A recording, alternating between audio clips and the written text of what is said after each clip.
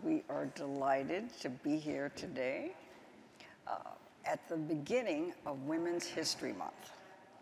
And I'm Carla Hayden, the Librarian of Congress. And in that light, I must say I'm the first uh, female to be a Librarian of Congress since 1802. And I'm delighted to be here talking about women uh, in Congress, and this is the 117th Congress. And as you can see from our title, it's Diverse Vo Voices Making History. Because the person we're starting with, and we'll be joined by two of your colleagues in the House who are busy voting. but right now, I have the really great pleasure to hear from Senator Shelley Moore Capito of West Virginia.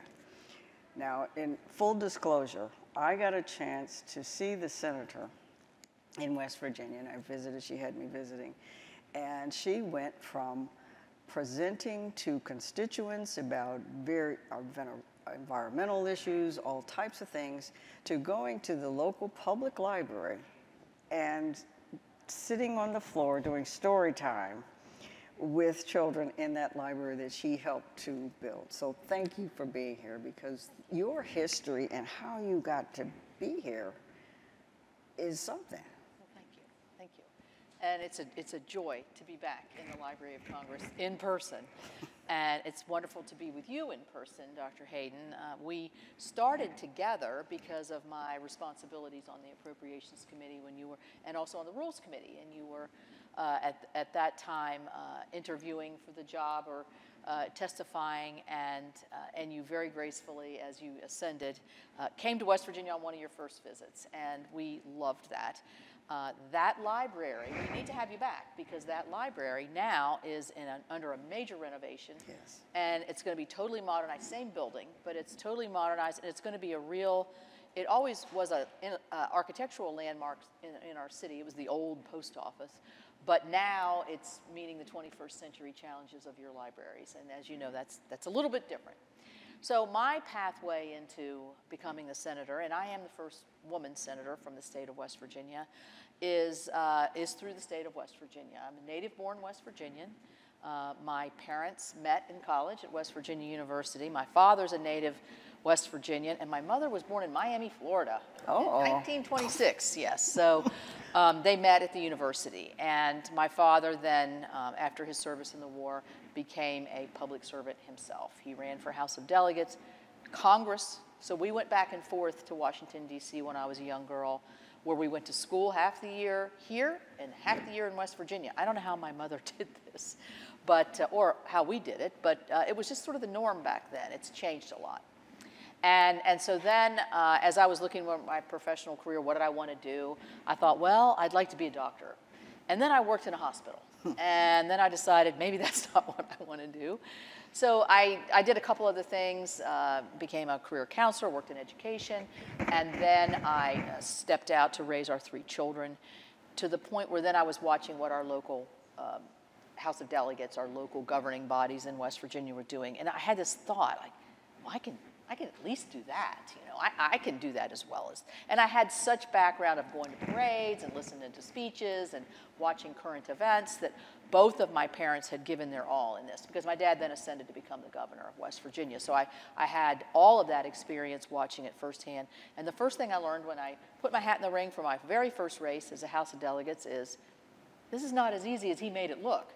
And, and from then I was local office, Congress, and then now into the Senate. Now, then your mother was the first lady of she was. West Virginia. She was very much a partner with my father.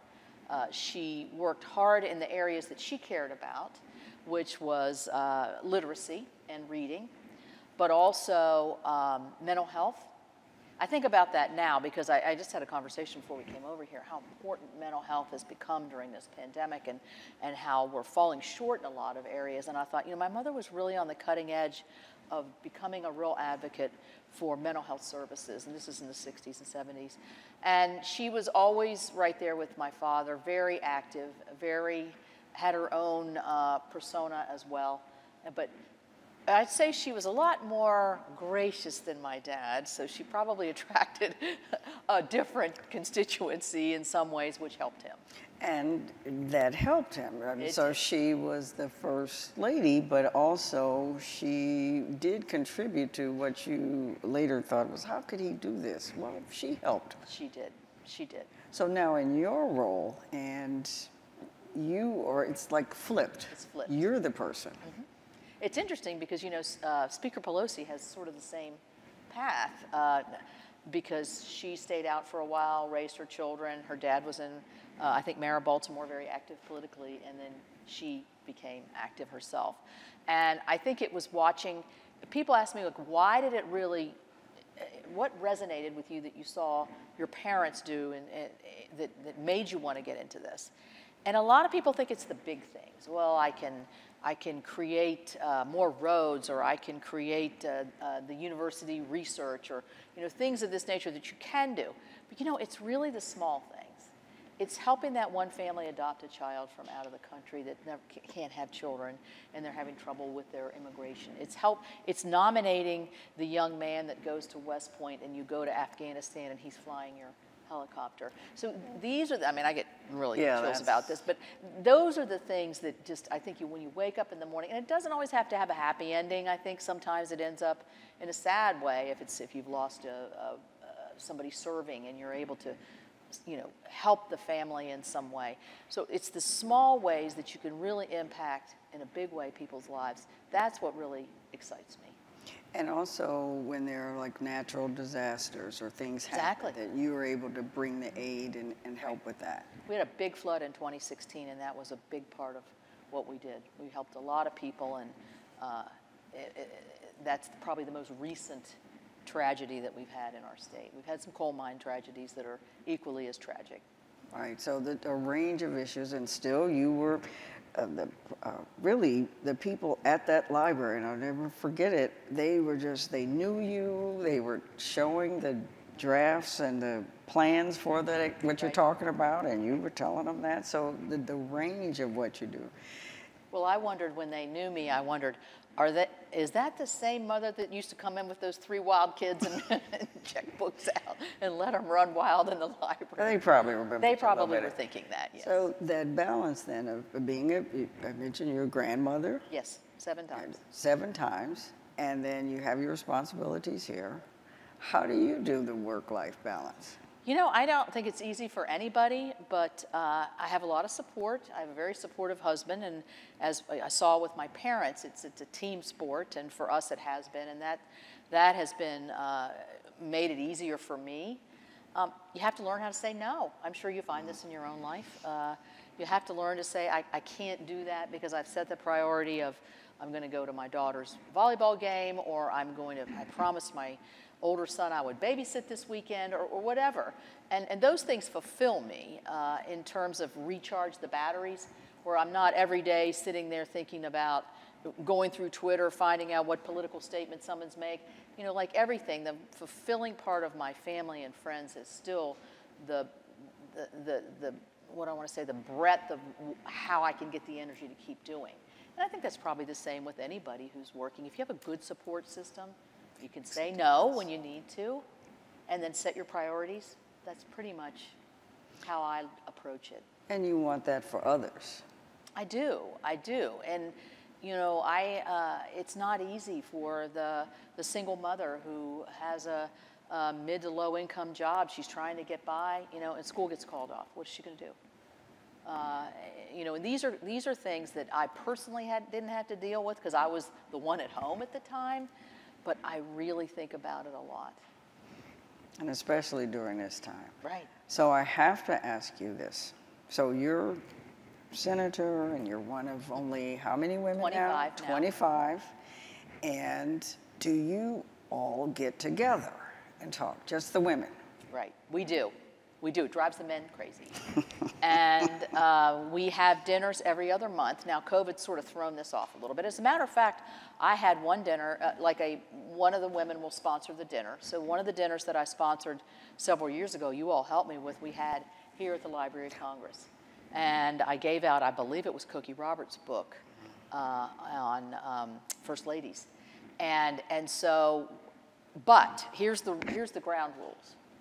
Nothing goes out of the room that we talk about. We don't get into any divisive issues at all.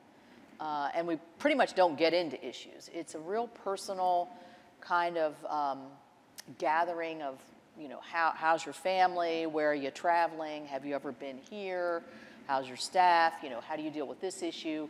It's very much like you would have if you were, uh, you know, meeting with your church group. It's the same thing. And, and we, when we break from that, then the next day, the men, the other 75 of the us senators all want to know what we talk about, but we're, we're a code of silence.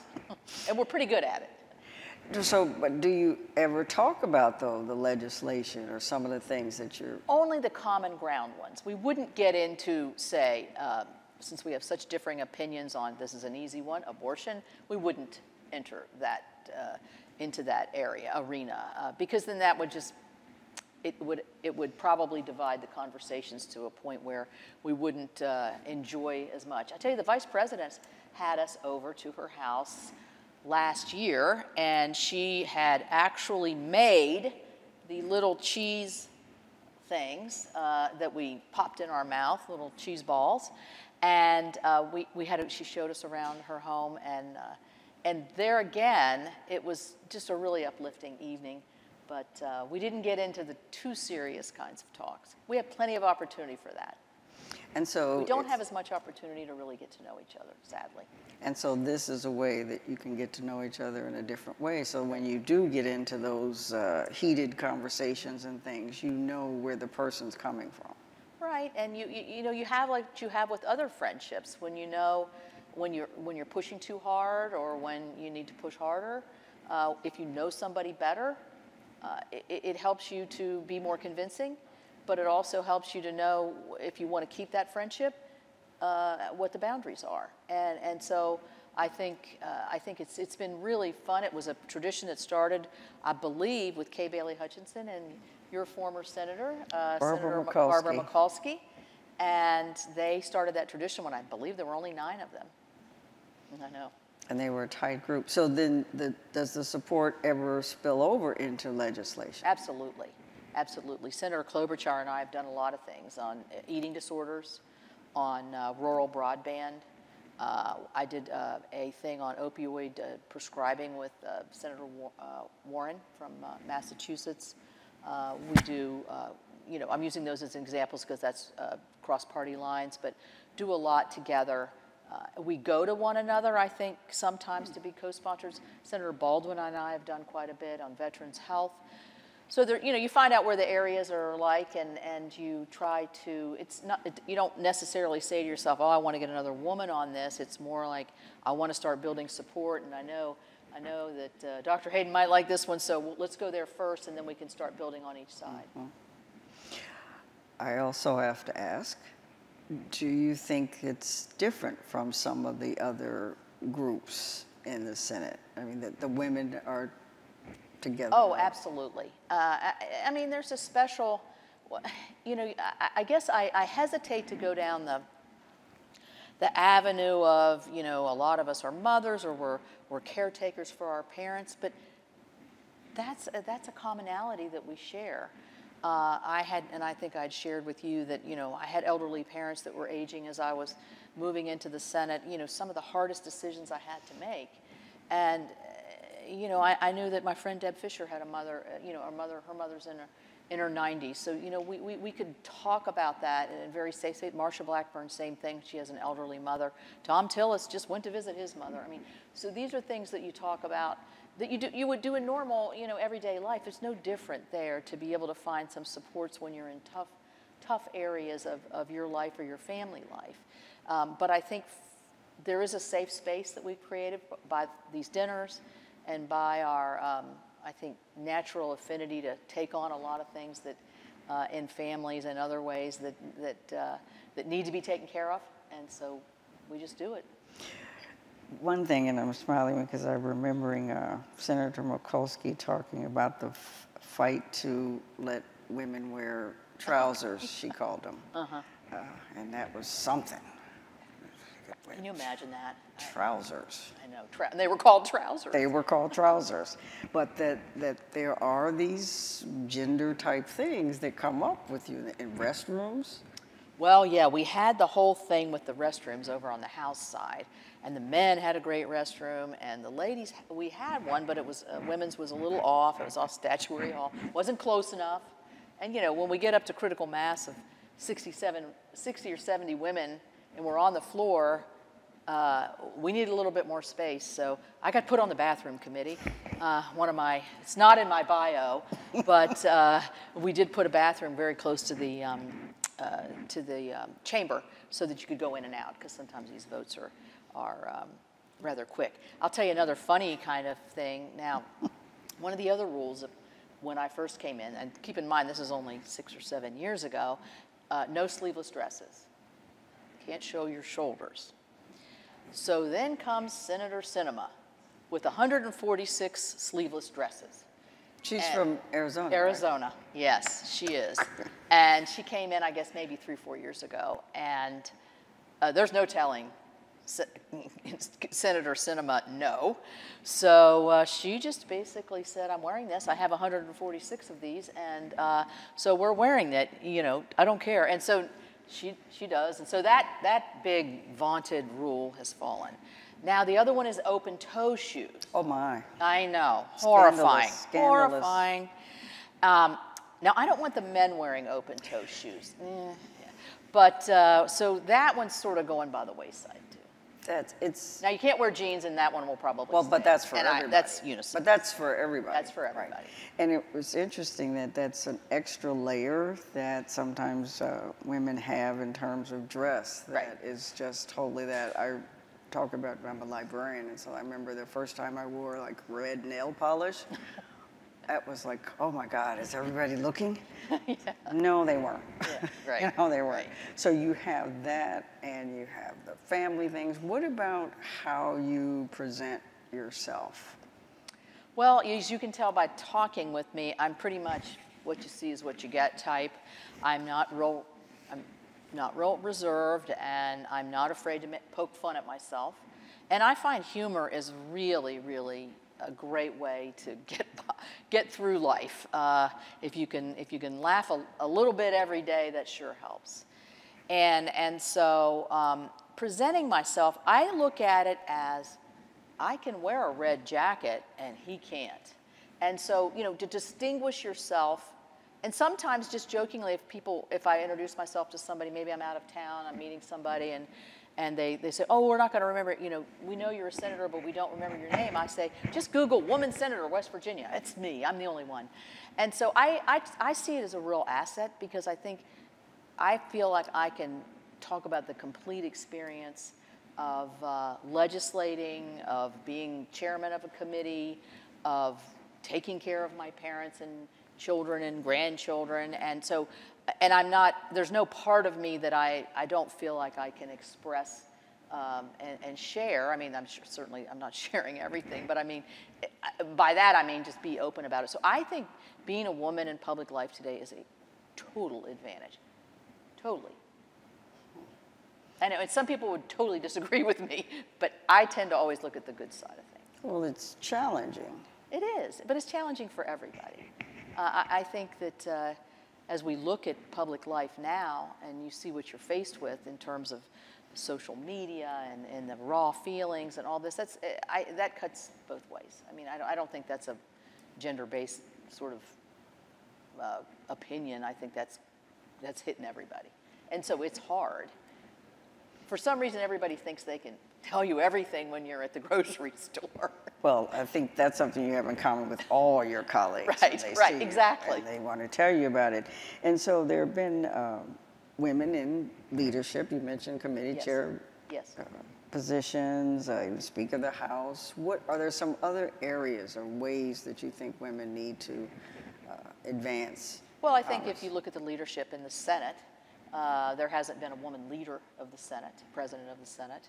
Uh, and I think that's, a, a- that's another milestone that will be broken hopefully in the next you know, decade or whenever, several years, sooner than that, hopefully.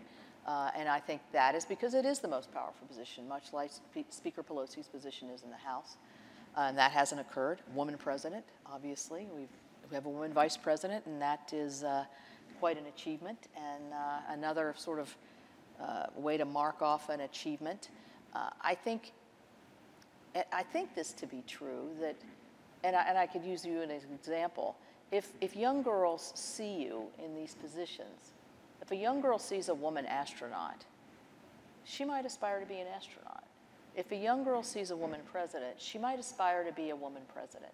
But if you never see that, it, it it's not that it's impossible, I just think it makes it um, less likely to kind of cross their mind. It's harder to imagine. There's a saying that you hear people say, you can't be it if you can't see it. Right, you know? right. So you, you can't see yourself or someone that looks like you. If you, you it's hard to put your face Put yourself- on that body. Right, yeah. and that's what's happening. So, okay, we're going to get a president. We're going to get this yeah, leader of the, uh, the Senate. We're going to do uh, more committees and things like that. Yeah, and I think uh, I think if you look at our structures now uh, and and where the power is, let's just talk about where is the power in the Senate. The power is in in the leadership of of either party. The leadership of uh, who's in the majority certainly is the most powerful, but there's power in committees uh, in terms of. Um, what you see, say, the, take the Rules Committee, for example, where uh, Amy Klobuchar is the chair of the uh, Rules Committee now. It's a very powerful committee. I mean, they, they liken it to, you know, mayor of, mayor of Washington, D.C., but it's much bigger than that.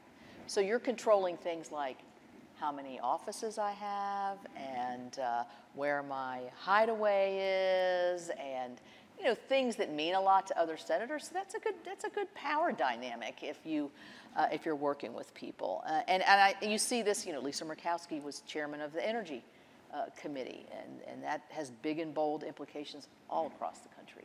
So the committee chairs and uh, leadership uh, are are where the power is, uh, but that doesn't mean that when you get on the floor, everybody's got, I always say this, everybody's got one vote, and they said, well, does your vote count as much? I said, my, count, my vote counts just as much as Chuck Schumer's vote does, because it's just one vote. Um, now, getting onto the floor and convincing people to, to follow you, eh, maybe, maybe a little bit more with him. Do you think there's a little edge sometimes with women, with people being able to? You know, I, I. I wonder about that. Um, I just had a conversation last night about uh, the end of the president's speech, and this was with another woman senator, and um, from a, from the other from the Democrat Party.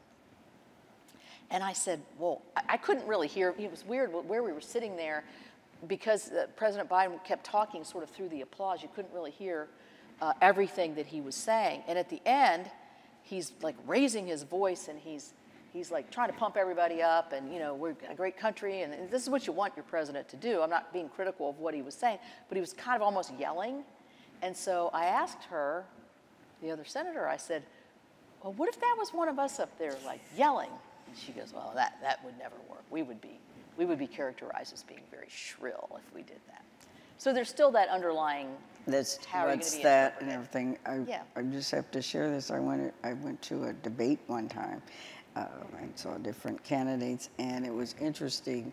Um, the male candidates had their water, uh, Mm-hmm. you know, thing, but the female had to drink out of a cup oh because how would that look if the woman Oh. was swigging uh, out of a water bottle? And I thought, oh, okay, I never even thought about that. But Well, somebody told me one time when you speak, and I do this all the time, they told me not to do this, but I do it all the time. Don't put your hands like this and then have a picture because you look like a witch. no, I don't know a what a man would look like if he's doing this. but it takes. Apparently, I'd it- look like but a witch. It, it, it's that extra layer that I Mm-hmm. think it, uh, when you do you ever talk to uh, uh, women that want to get into public service and things about some of the extra uh, considerations as a woman? Well, I do you think, ever? I think yes, yes and no. I think that at the bottom line, at this level, you have to have an incredibly hard, hard shell, whether you're a male or a female, or you really you can't get up in the morning sometimes because you, you know the barrage of people that disagree with you, or or the time and the effort that it takes.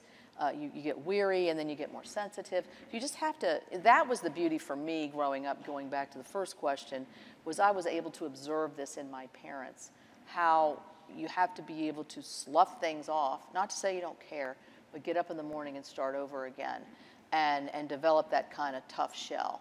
And that, I think, is the most, I think, in, for some women, it's pro- that is probably a harder thing. And I, don't, I hate to characterize because, you know, for some women it's not. For some men it's harder. But th- that's a hard part of our job is to be able to stay focused, stay on where you want to go, and try to balance the criticisms that can be quite harsh from time to time. Do you ever hold back about being angry or Oh, being sure. forceful? Sure. But sometimes, Sometimes you got to let them know who's in charge.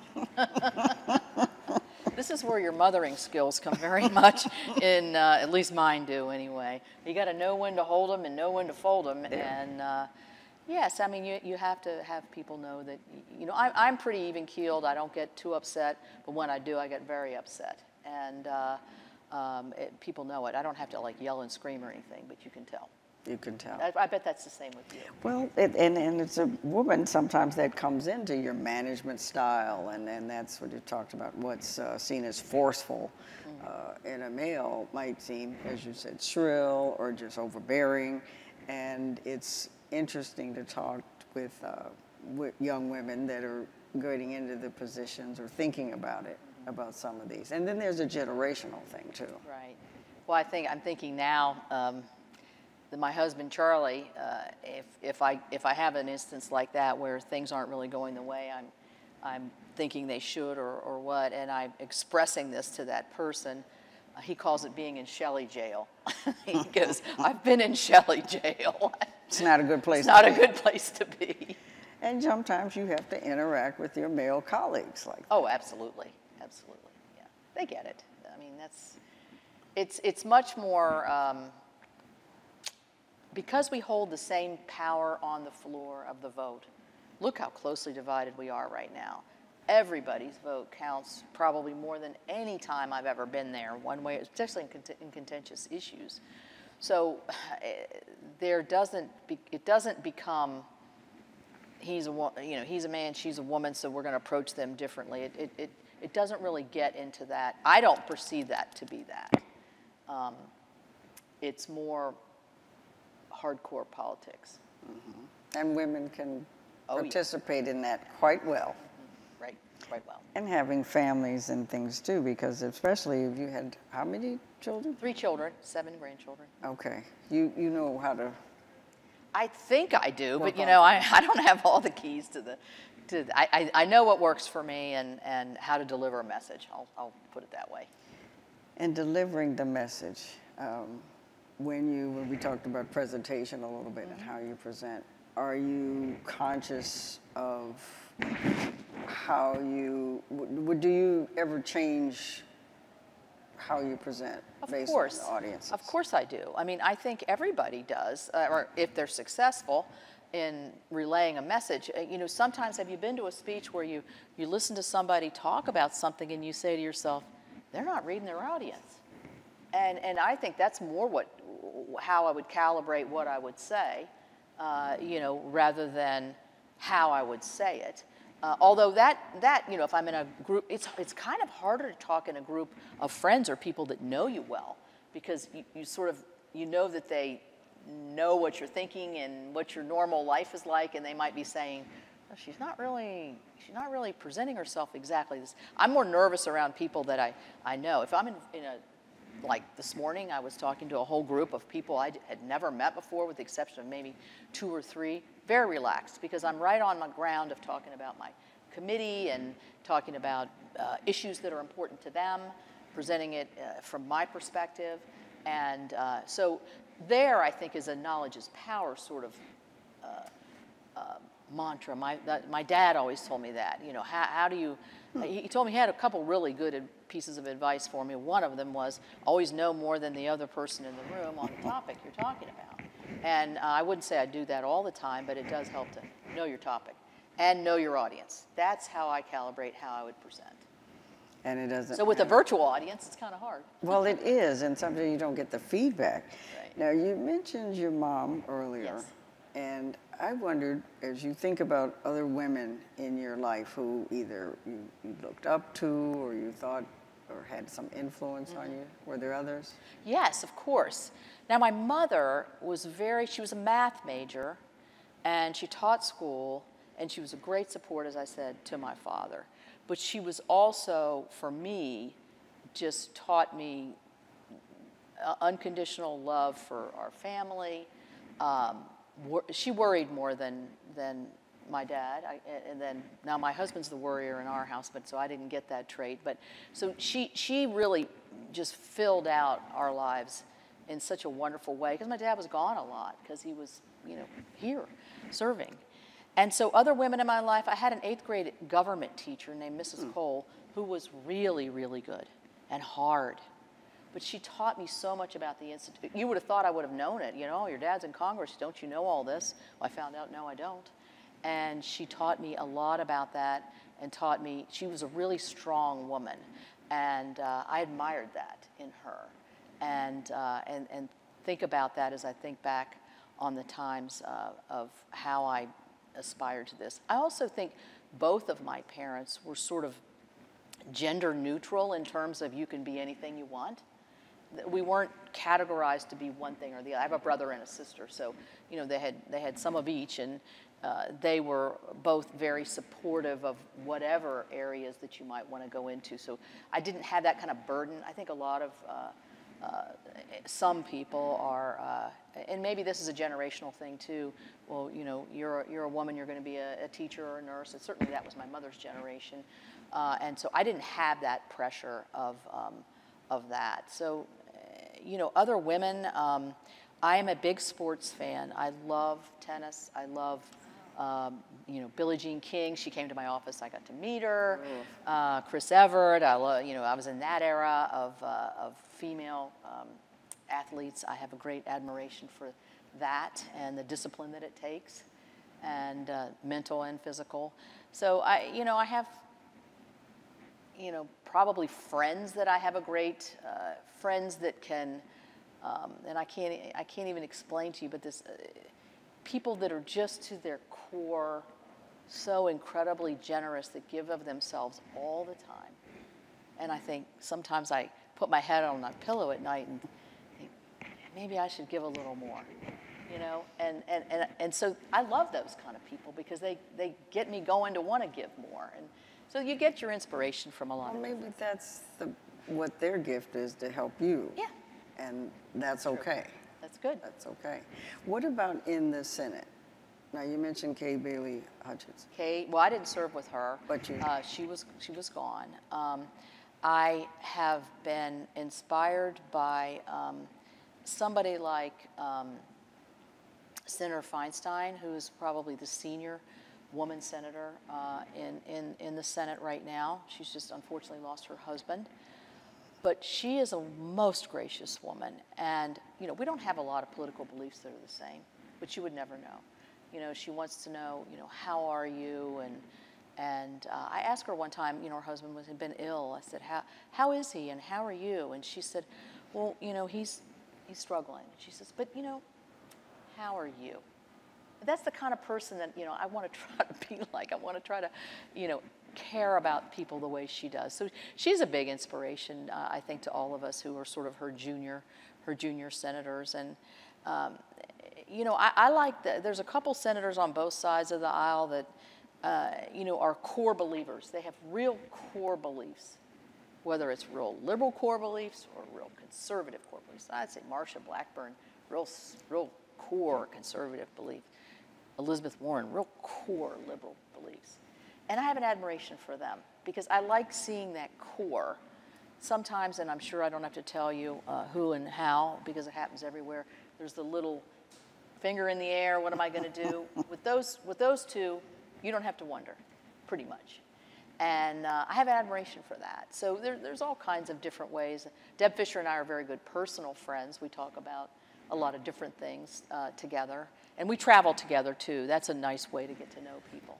What happens uh, when you travel uh, on a Codella, right? And that that's an opportunity to get to know all of your colleagues. Yes. colleagues. Yes, and you can take your spouses usually. Um, I mean, um, there's a, just so everybody knows, we, we don't pay for the spouse's hotel. It's in the room and all that comes with us. So extra expenses and everything, we, those are personal expenses. But it's a good way to get to know as couples, and that's, that's a really good thing because that completes the person, I think.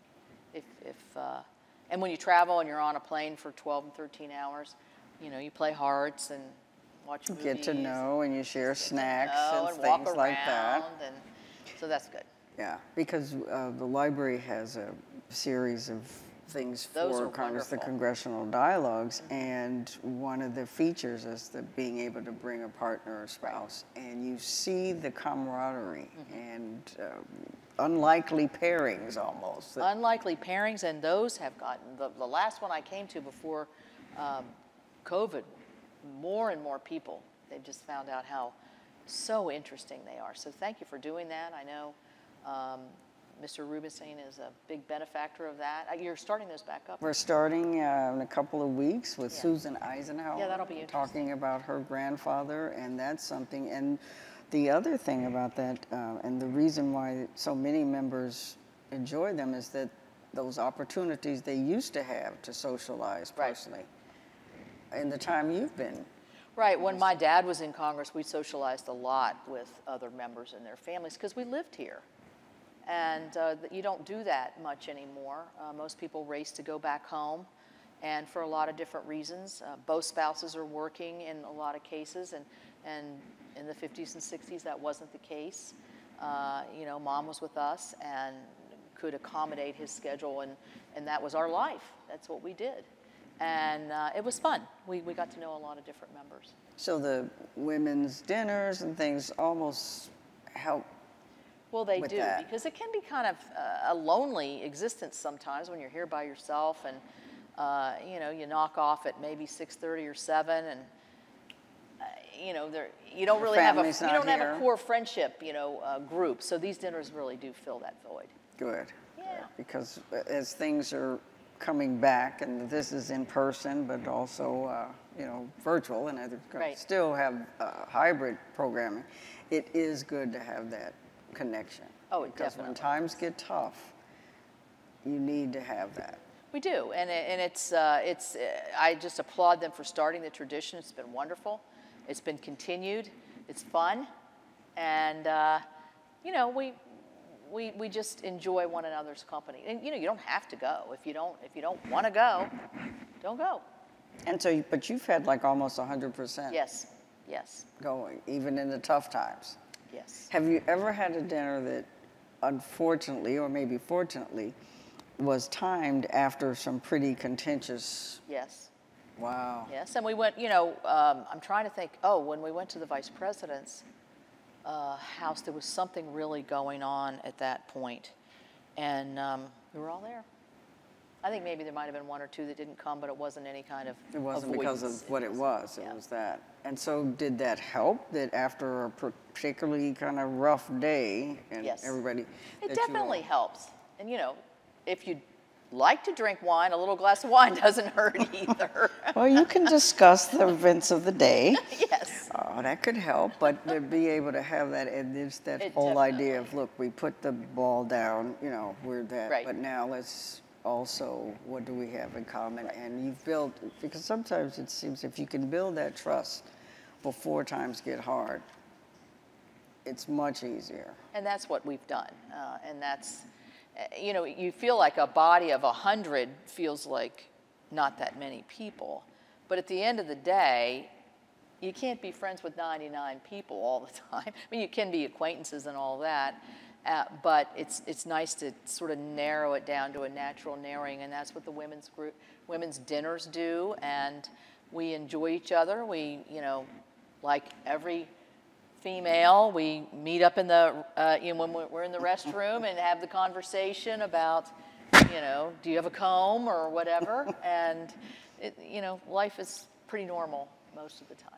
So we hope that there will be more women getting into public service. And if you had to give some advice or just think Well, I think the, the advice I, I give is to young women, maybe college age women, is if you think you're interested in this, you have to sort of tiptoe, I think, into it.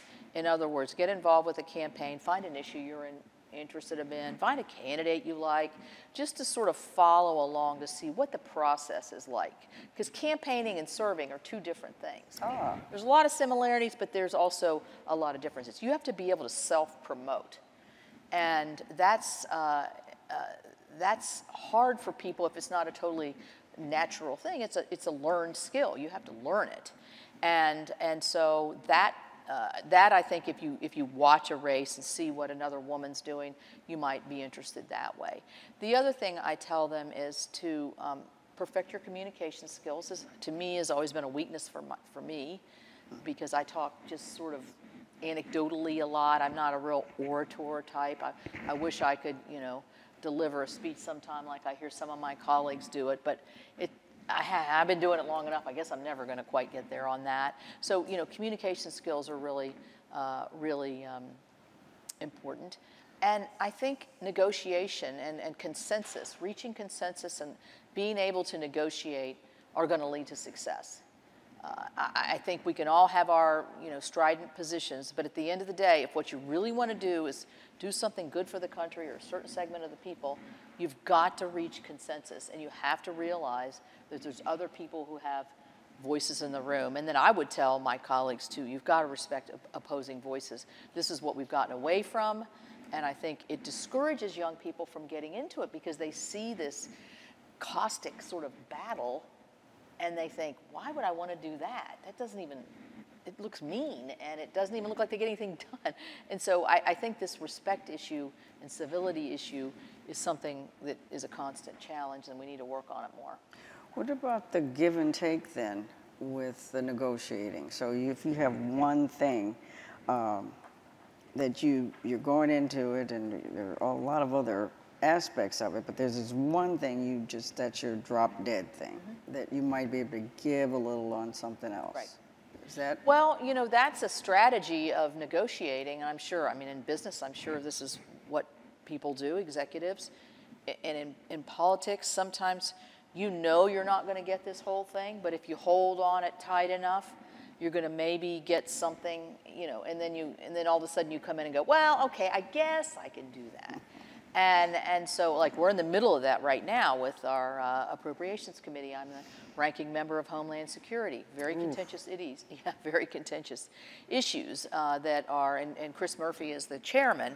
And so we're trying to figure, these are things like the wall and ICE beds, and these are not how much, you know, uh, fertilizer should you have in an ag community. These are which is can, can be contentious, but not like this. And so we're in the middle of negotiating, um, and then you have to decide what is your will. Is your will to get it done, or is your will to just stir it up and try to get it done next year? So you can make those calculations. and where do you get your counsel on that? Where do you? Well, luckily, that's one thing that uh, I, uh, you know, you, we have wonderful staffs, uh, large staffs that, you know, you give everybody a subject area uh, and uh, they go to town on it. And uh, then I have regional reps in my state, which I'm sure every, every senator does. So that's sort of the ear to the ground. What are, what are, what are West Virginians thinking about this? I mean, I go home all the time, so I, I'm, I don't really feel disconnected at all. But in certain areas you might not be able to check in on a certain issue so you use that uh, uh, uh, power uh, you know you go through what's incoming you know but there again it's it's trying to figure out are these incoming from people that you really know i'm talking about emails or uh, not faxes anymore mostly emails or or texts or um, and and so you know or postings on your facebook or whatever you have to decide are these things that really matter, or is this just some guy that every time he sees me uh, post something, he writes, she's a communist or something? I mean, you have that all the time. And usually very vigilant about you might have some of that. expressing that uh, quite a bit. So, absorbing information, because you know I'm a librarian. I got to ask you know how do you do how do you work on that? I know you get briefing books and you do that. Well, I've always been fascinated by the current events, so news. So I read a lot of newspapers, my local one. Uh, I'll read uh, some of the Washington Post, not cover to cover. I'll go to the front part and then the crossword in the style section and food, which is today, I think, is the food section. And then, uh, you know, I'll read my, uh, um, you know, I'll read, I, I must admit, I read Twitter a lot because I think you get a lot of, and that, that links you to a bunch of different articles. Uh, and so I do that.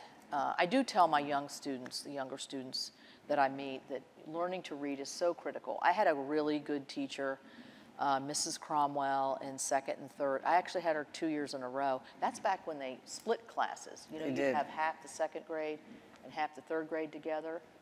I don't think they do that anymore. No. No. Uh, but anyway, so I had her in second grade, and then when they split classes, she wanted me again, so she took me in third grade. And she was wonderful at teaching to read. So I learned to read well, but I also learned to read fast and, um, and comprehend enough to get, to get by. I mean, I know I'm talking to a Oh, librarian. but I do yeah. that too. I mean, you skim. Right, I was skimming. And uh, so I, you know, I, I do a lot of that. Um, I do rely on, uh, I do watch some television news, but not a whole lot Yeah. because you, know, you could take a lot of time doing that. Uh, and then I'll read deeper on issues. For instance, um, one of the issues that I don't really know much about is all the different immigration visa statuses and everything. And so, you know, I'll ask them and they'll generate a report from the Congressional Yes, Research Service. and that will give me a deeper dive into something that I feel like I need to know more about. Um, and, and so, you know, we have briefings, we have secret briefings, classified briefings. We've had them on, we just had one on Ukraine and um, Russia. So there's always available, we can always call experts, uh, subject experts in um, to brief not just me, but like I had the credit unions in today, so they're telling me all their issues, the local. So eh, there's no problem getting information. It's, Right. It's, uh, It's how do you how do you uh, sort through it? How do you it. absorb it? The Kluge Center, for instance, does things not only public programming, but the type of uh, reference and experts that are available to Congress too. right. Same thing. And the Congressional Research Service, they're the terrific. SWAT teams of, They are of great. info. They are They great. told me they were working 24/7 this past weekend. really. with, Oh, with supporting yeah. uh, in terms of Right. getting information in International. that. So you're balancing that. Now you mentioned crossword puzzles and Mm-hmm. food. So you have time for that too? Well, that's my go to bed thing is the crossword puzzle, and I'm doing Wordle. I uh, must admit. Yes, I got the one today. I bombed out two days ago, and I was pretty upset about that. But uh, so I enjoy like little word puzzles. Uh, and you know, both my parents had Alzheimer's at the end of their life, and I'm wondering the reason I keep doing these because I keep saying if you work crossword puzzles and keep your mind active, that you know it's it's going to prevent this. I'm not sure really. My mother did crossword puzzles all the time, so I'm not sure that's true. I just always liked them. Yeah, and it, it's a way to keep your mind going without. Thinking about stuff Yeah. It's, and that.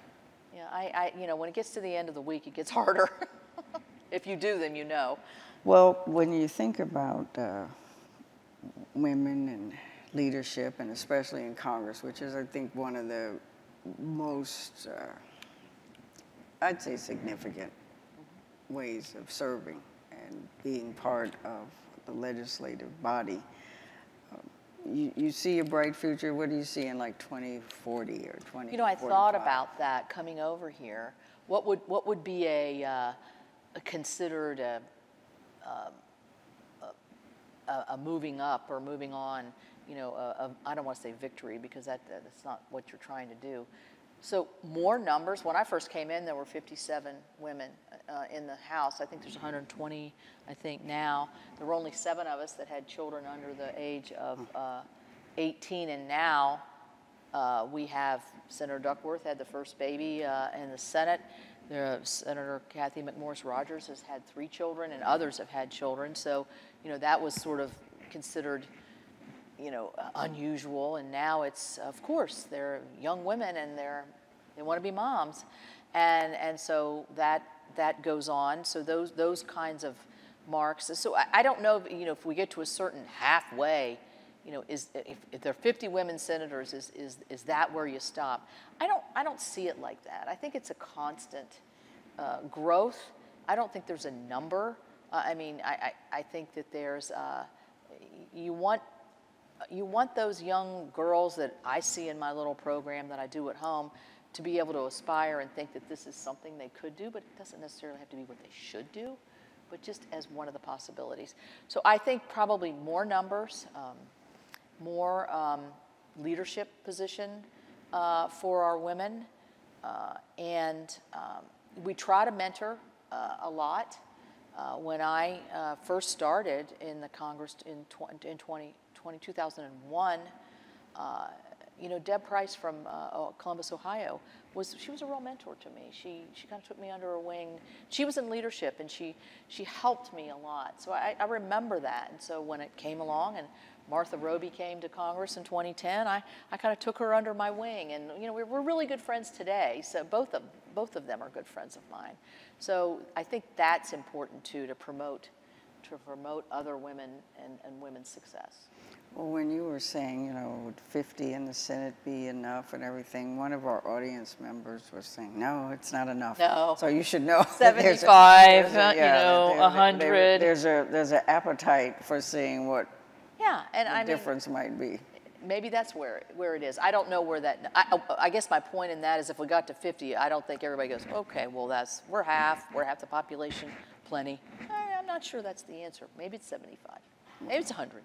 Well, you certainly are a role model Well, thank you. for so many. You mentioned that program that you have. Yes. You could tell me a little bit. Sure. Well, that was the program that we were going to do in West Virginia. We were going to go to elementary school, and I was going to, um, you were going to be Exhibit A Yes. on how you could be the librarian of the Congress, uh, the first woman uh, librarian. And unfortunately, something happened that day, and we couldn't. It was, The yeah, I can't wasn't it? remember. It- It, what, that might have been. Yeah. So we had to cancel that, and uh, that's when we sort of rejiggered our schedule. Uh, so I have this program called West Virginia Girls Rise Up. I created it when I started in the Senate because, and it goes back again to the first question of where do you make your impacts and, and what kind of influence did your parents, you know, getting into this. I could see my daughter was being, a, I could see me being approached of your dad got you know lights on the football field or your dad helped me uh, my uh, son was in vietnam and he wasn't writing me letters and he found out where he was and got him on the phone. You know things like that that he was able to do as a congressman. And i thought what would i want my daughter to hear about me? And, and i thought you know i would like my daughter to hear that uh, your mother came to my class when I was in fifth grade, and that really inspired me to run for mayor of my city, or president of the United States, or be head of the company, or be the fire chief, or whatever but just to have a memory of, of, a, of a, a, an active woman leader and sort of demystify the position. So I started this, and we, we have three sort of stools education, physical well being, and then confidence. And then I get them to talk, and then we have uh, it's about 45 minutes, and we talk about some famous women, and then we talk. Sometimes I bring a guest, as I was trying to bring you. I, I brought an astronaut, and uh, um, Nikki Haley came with me one time, and Shannon Bream from Fox News came one time, and our uh, our great fire chief Jan Rader from Huntington chief. came, and so you know we'll we'll do different things to sort of change it up. The West Virginia University gymnastics team came with me one time, and so um, the girls really like it. They they like to to talk about their dreams and to talk about what does it mean to be confident and and they because you know if you talk about what is something you need on the senate floor well yeah we're all one vote. But if you if you're lacking in confidence it, it makes it a little bit harder. You have to try to be at least project confidence uh, and be confident uh, and, and and so that's what we talk about. And they understand they've, they've thought about this. So anyway I'm, I'm hoping someday We're going to do some, it. some young girl comes up to my daughter and said, I saw your mom at Girls Rise Up, and it really And it made a was. difference. because you remembered the names of the teachers. Yep. And, and I don't think people realize the impact that they have. So I, I do want to come and be part because I think a librarian following an astronaut would be pretty cool. You know, it's interesting. We asked her, when did she decide that she wanted to become an astronaut? Her name, and she, Peggy Whitson is her name. She's uh, done the most spacewalks of any astronaut. Really? and she said she saw them land on the moon when she was in second grade, and that's when she decided. She got turned down four times. and then she did it. Thank you, because we really got into uh, the types of things that we wanted to also share during this Women's History Month. And I just have to encourage everyone on your way out. The Library of Congress has the archives of Susan B. Anthony, Elizabeth Cady Stanton, Mary Church Terrell, all of the pioneers of the women's suffrage movement. And we had a wonderful exhibit during the um, thing, and we have the uh, commemorative booklet for you all on your way out because it shall not be denied. 70 years to get women the vote. And then there's a new copy, and I would lift this up, but it is super heavy. It's like a doorstop, but it's the Women of the Congress, and it just came Oh, out. And you have that in both of the uh, stores Right. at the House of Representatives and the Congress, so it's hot off the presses. Thank you